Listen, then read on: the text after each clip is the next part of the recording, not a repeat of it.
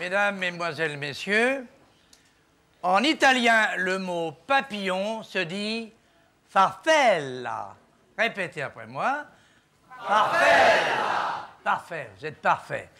En anglais, le mot papillon se dit butterfly. Répétez après moi. Butterfly. Bravo. Et en allemand, le mot papillon se dit Schmetterling! Oiseaux gazouillent, gazouillent!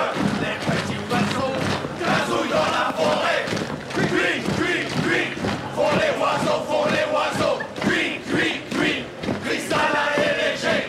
Les gentils poussins picorent, picorent! Les gentils poussins picorent la paquerette! Piou, piou, piou! Fais le poussin, fais le poussin! Piou!